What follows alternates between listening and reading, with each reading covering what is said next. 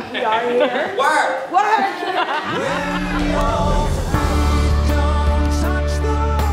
Today is the first day of rehearsal for Finding Neverland.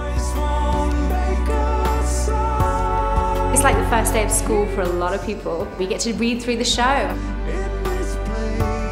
First day of rehearsal, very Broadway. Lots of hugs and kisses, lots of darlings, and all the things you associate with Broadway. It's just an exciting, exciting moment.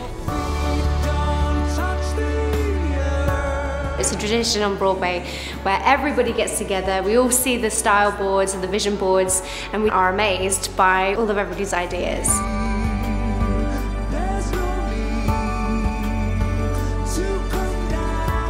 It's exciting. I mean, these are the people that you're going to grow so close with, and you have no idea who they are today.